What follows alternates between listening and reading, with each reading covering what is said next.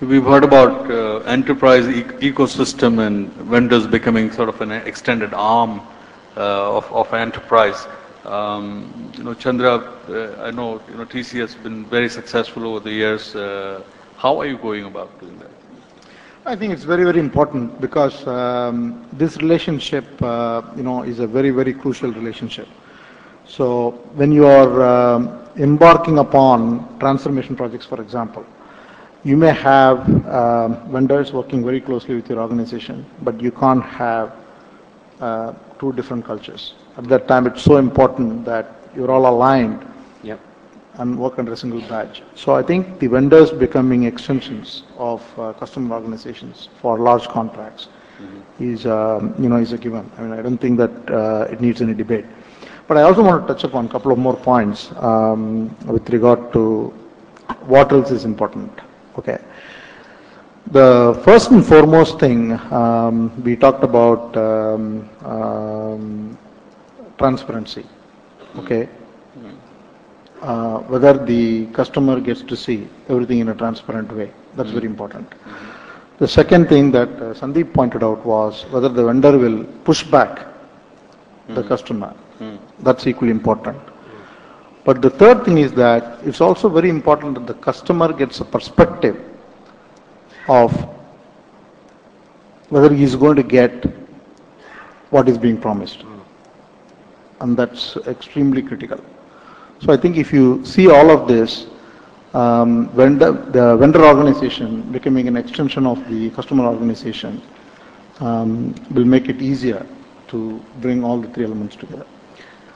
Byron, we, um, do you, do you see, I mean, you, you work with a number of uh, vendors, uh, and, and of course, uh, you know, you might have, you know, your own captive also, but uh, do you, do you really see that we have evolved to that stage now? Oh, absolutely. I've got about 40% of our overall organization wears a different badge. And you can't really think about running an effective organization if you exclude them from your strategy, if you exclude them from your capability and how you deliver value to, um, value to, to customers.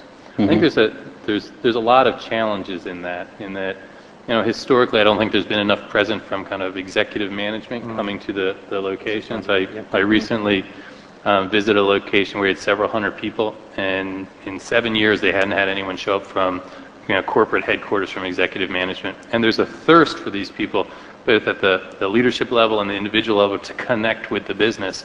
So I have, I have offshore providers that have, uh, and, and, and team members that have been with us much longer than half the staff back in the U.S. Um, you know, D&B started Cognizant in 1994, so we've, and there's people that have been supporting us for, you know, a dozen years through some of those uh, relationships. So you know, I think it's important that, that you're here, that they hear the story, they hear the strategy, they hear how you think about your customers, where you're taking your business. I think the other thing that's critical, and I think it's one of the changes that we need to see in the industry, is we need to improve the level of collaboration across the offshore providers and the company. So there's very little, there's very formal points of communication in a lot of these situations around projects or this or that. And we think within our organizations, we think about how do we build communities and portals for people to exchange ideas. And so often that does not include uh, our partners, which I think has to change in the, the long run. The other thing that has to change is we have to get better collaboration across the vendors. Um, I had a situation uh, just this week. I was meeting with someone that had this fabulous capability uh, that could really help my business uh, fundamentally in a lot of different ways. But because of another outsource arrangement I have with my data center, I can't get that capability into my data center. And so now I'm kind of sitting here trying, and it would break the our, our contracts and all the rest of it. So now I got to try to figure out can I get this done by hook or crook. But more and more, you know, I, I'm thinking different. I'm thinking about different ways to have com- people come together to provide services to us.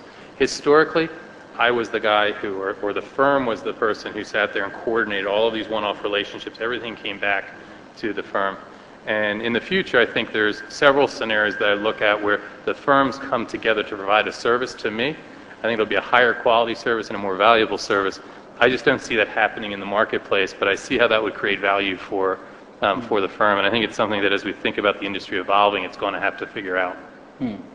But, but do you, do you think, um, uh, you know, as, as uh, the vendors become extended arm, uh, there will be a fundamental shift in, in terms of types of business model Or would that be, uh, you know, for example, we are seeing that some of the companies are saying, uh, you know, we will take success fee. You know, I mean, there's a fixed fee element and then there's a success fee element. So the risk and reward are kind of shared. So do you, I, I think, I mean, some of it comes back to the readiness of the organization, and people often forget, you know, so they try to come up with this edge talk, up this boilerplate of here's how we deal with, with customers. Organizations are at very different levels of readiness, and depending on the function, the marketplace is at a different level of, of, uh, of, of capability. I think it's something that is, uh, you know, people just, just don't, don't catch. Um, From a, a metrics perspective, low readiness organizations are very focused on the financials. It's one of the main drivers, right? So we're like a, you know, at least in my experience, I'm the third, fourth generation of kind of outsourcing things. We've been doing it for a dozen years. And, you know, it, it ties me back to a lot of the learnings I've had, you know, to, to some of the points that were made here. Focus on the, the big outcomes. Make sure that you're driving those. Try to stay away from some of the, uh, some of the minutia. Focus on the business value, right? So what are the five outcomes I need this year? Yeah. Right? Tho- those five outcomes you will typically will not find buried in the, in all the SLAs and everything else because, you know, the outcomes are made up of, you know, 40 different little SLAs that I have. But trying to provide that level of clarity is incredibly important. Um, you know, what I want, what I want people to, and organizations to do is, you know, sit down in January and say, what makes this an exceptional year? What is, let's define a hit the ball out of the park year.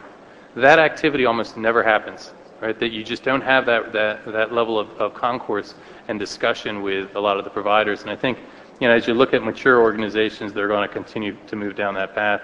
Um, and it's certainly the advice that you're starting to get from, you know, folks like KPMG and other providers saying, look, you've got to make this thing a little bit simpler.